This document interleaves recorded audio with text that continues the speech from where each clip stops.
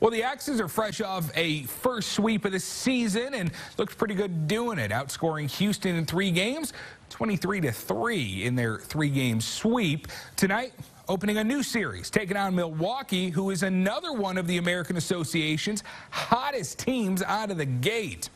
The Milkmen, fresh off their 2020 league title and just their second season as a franchise. Pitchers duel heading into the bottom of the third. Sebastian Zawada changing that, though.